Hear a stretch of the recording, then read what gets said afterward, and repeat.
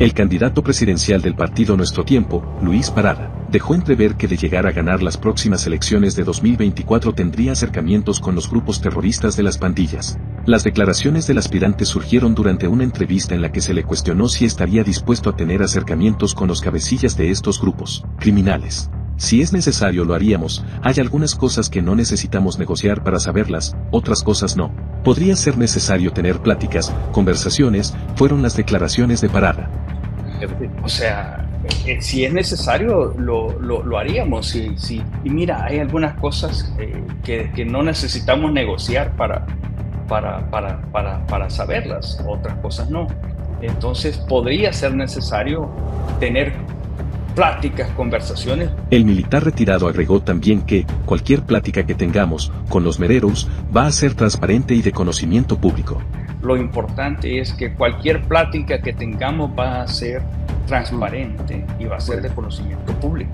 En el pasado, entre 2012 y 2014, los gobiernos del FMLN avalaron una tregua con las pandillas en la que se negoció, supuestamente, una reducción de homicidios, y luego negociaron votos a favor de Salvador Sánchez Serén. Lo mismo hizo Norman Quijano, cuando competía por la presidencia por Arena, el partido de Parada. Ante las declaraciones del militar retirado y ahora candidato, el ministro de Defensa, René Frances Merino Monroy, cuestionó sobre cómo es posible que el candidato de nuestro tiempo considere negociar con asesinos. Estaba viendo una entrevista que le hicieron a uno de los candidatos, y le preguntan que si él negociaría con pandillas, entonces el candidato dice, sí, hay cosas que hay que revisarlas con las pandillas y hay que ponernos de acuerdo, comentó el ministro durante la entrevista de diálogo de Canal 21.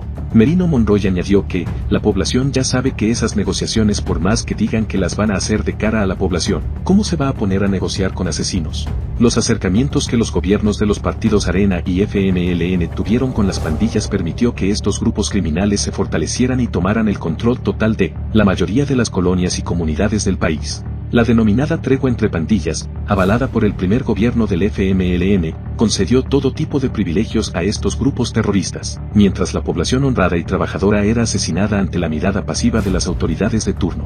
Tras viralizarse las declaraciones de Parada sobre su aval para que negociar con pandilleros, luego posteó en la red X, para matizar que, podría ser necesario hablar con los líderes pandilleros para consultar sobre supuestas negociaciones con el gobierno, a pesar que el gobierno de Bukele ha sido el único que en 30 años declaró la guerra a las pandillas y ha encarcelado a más de 70.000 terroristas y hasta ordenó construir el SECOUT, la cárcel exclusiva para mereros.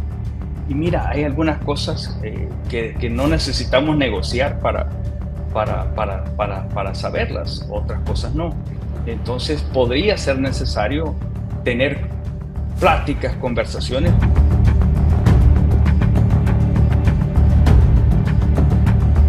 Déjanos tu like, comparte este video y coméntanos qué opinas de esta noticia.